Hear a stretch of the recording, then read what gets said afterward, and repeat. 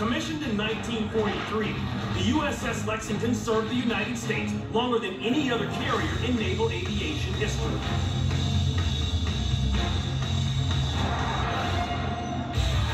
October 29, 1989.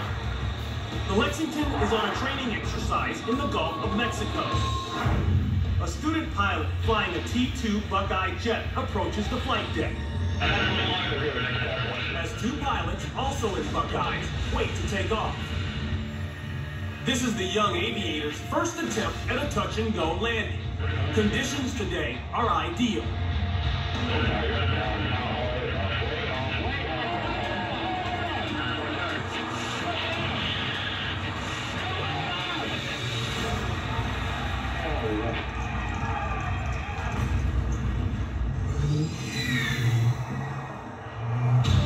Landings require a pilot to maintain a relatively slow and precise speed.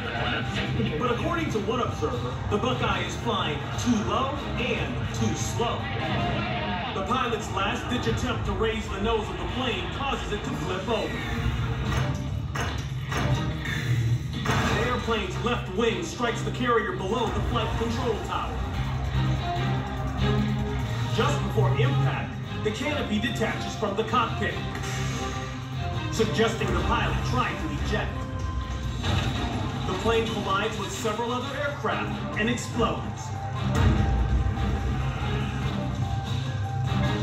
As the plane plane's fuselage skids into the two pilots waiting to take off, both blow their cockpit canopy. Moments later, the men climb out to safety. The crew has the first fire hose in operation after just 11 seconds.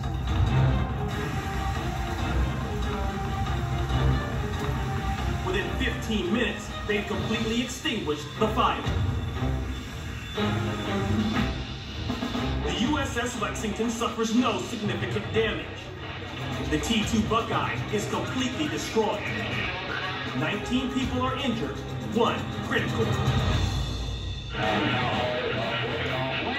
tragic accident claims five lives, including that of a young pilot.